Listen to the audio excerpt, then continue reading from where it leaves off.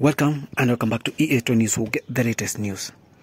After handshake between Laila Amolo Odinga and Uhuru Muigai Kenyatta in 2018, William Samoei Arap new knew clearly that hapa asipo a, a, hapa akicheza atachezwa. So from there he started campaigning.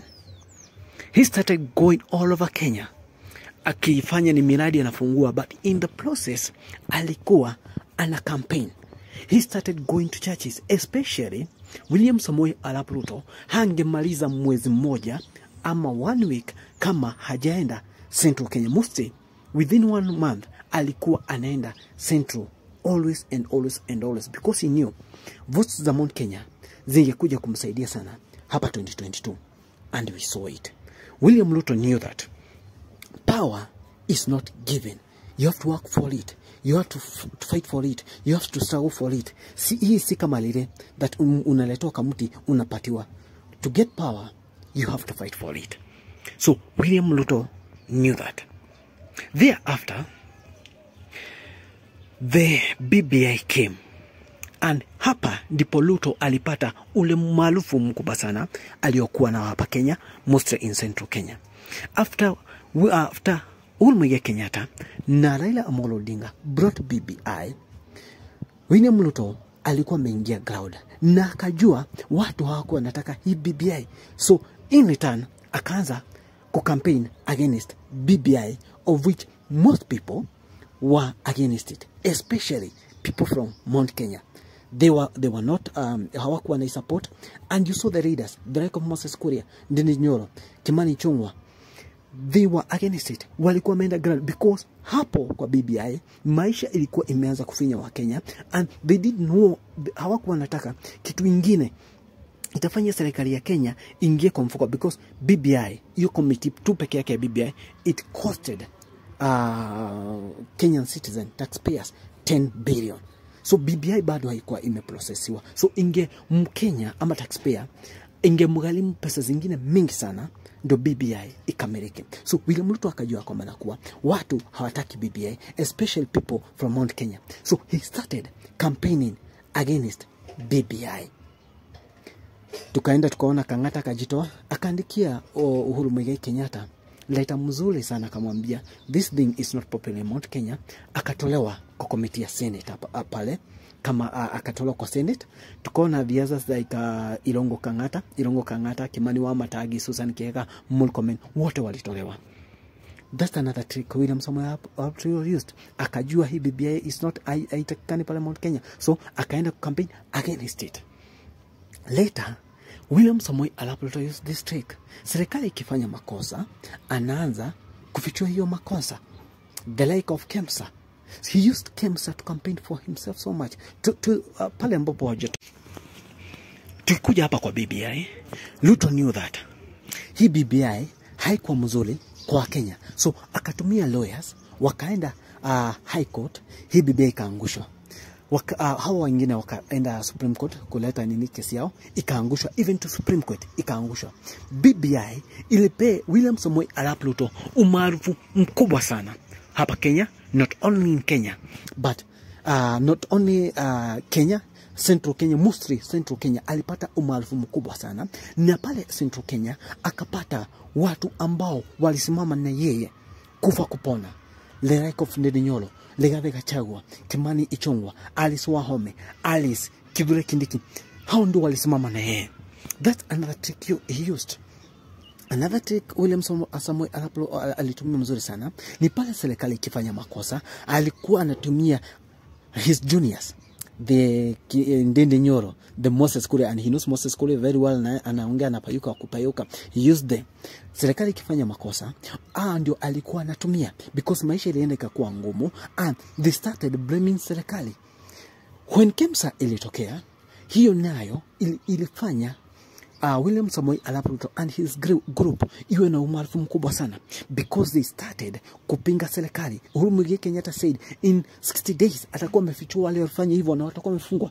60 days ikaisha, nothing was done. Walianza kujipigia debe na hiyo kitu ya KEMSA, wakaanza kufichua ile mambo mbaya ama zile vitu serikali ilikuwa inafanya ama zile corruption zilikuwa zinafanyika kwa serikali. And that made uh, William Samoei Arap popular so much popular.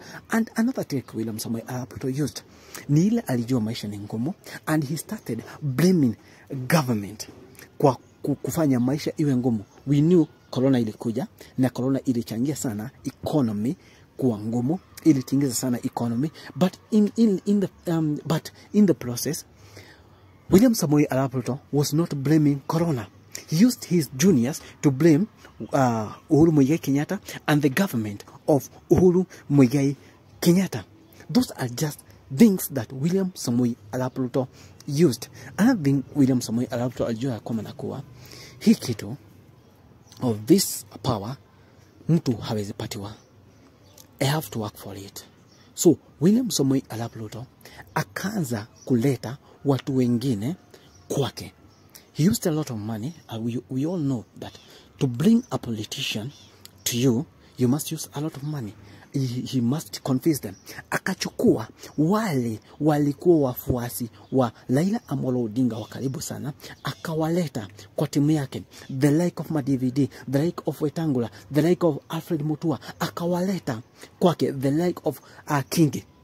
Those people ambao aliwaleta karibu na yeye ni wao walifanya apate 50 plus 1 ukiangalia uko bungoma kwenye moses uh, masika wetangula anatoka william samuel arap got more than 250000 votes of which ukiangalia kwa hii hesabu 50 plus 1 unaona hizo kula za bungoma zilichangia sana kama wetangula madvd and uh, Alfred Mutua King they were not on his side. Ungeona hizo kula William Samoei Arap Ruto hangepata, na in return Laila Amolo Odinga niye angepita hii uchaguzi. So uh, William Samoei Alapo alicheza game nzuri sana, akajua kwamba nakuwa no let me niende hawa watu. Because hawafurahi vile Uhuru, Uhuru walishikana na Raila Amolo Odinga, hawakuwa nafurahishwa na BBI. Ni kama aliona wametengwa pale kwa azimio la umoja, akaona hawapewi ile ile mamlaka walikuwa wamepewa mbele, hawapewi ile kipeo o, walikuwa wamepewa mbele ama ile uh, nguvu walikuwa wamepewa mbele hawapei, akajua now is the time, let me go for them. And he went for them, na akawaleta kwake. And he promised them prominent seats, na ndio hao sasa tunaona wanaletea William Samoei Arap Ruto vote. Tunaona Wetangula, Wetangula anaenda kuwa spika wa bunge, Kingi anaenda kuwa spika wa senate, naye Madivida anakuwa uh, chief minister. So he brought them near, near, near him, na hiyo iliweaken sana said la azimio la umoja pale Raila Amolo Odinga akiambua na Uhuru Muigai Kenyatta usiende kukampeni, Raila uh, oh, William Samoei Arap Ruto was campaigning all over. Uhuru Muigai Kenyatta akiambia uh, Raila Amolo Odinga wakati wa kampeni haijafika, William Samoei Arap Ruto was campaigning, alikuwa anapigia debe chama chake cha UDA, na hiyo chama ikakuwa na nguvu sana, especially in Mount Kenya, ikakuwa na nguvu sana because when you go to Mount Kenya uh, like all governors uh, only in uh, I think Melo all other governors and in Embu, Meru and Embu, I think uh, hao ndio wajapata. All other governors, most of the senators, most of MPs are from Kenya Kwanza and UDA.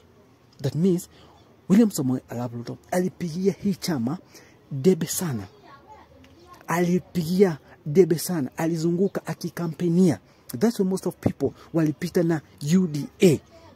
Those are just tricks zenye William Samoei Arap Ruto alitumia na akafanya Laila Amolo Odinga kuanguka because power haipeanwi, lakini you have to, buy, you have to fight for power. Hiyo ndo Laila Amolo Odinga hakujua. Laila Amolo Odinga aligojea apatiwe power, ni kama lile uh, Uhuru Muigai amekimbia akuje amalize ampatie na yeye endelee. No, that's not how power is given. You have to come out you have to uh, you have to fight for it. You have to look for it. Ukiangalia zile meka zingine laila Amolo Odinga was struggling to fight for it. He was campaigning. He was doing everything to fight for it.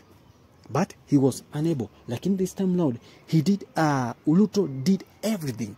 Akaipata. Lakini Raila Amolo Odinga relucted. Akaambiwa na uh, Uhuru Muigai Kenyatta and the deep state hii kitu tutakupatia. And in return Raila Amolo Odinga akaanguka chini flat. Thank you guys. Please make sure you subscribe to my YouTube channel, and that's how William Samuel Ala Pluto came from uh, chicken seller to a president, a sitting president. Thank you, guys. God bless you. Please make sure you subscribe to my YouTube channel. God bless you. God bless Kenya.